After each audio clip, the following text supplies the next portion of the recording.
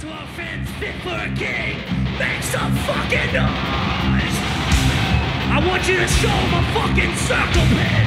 Let's go.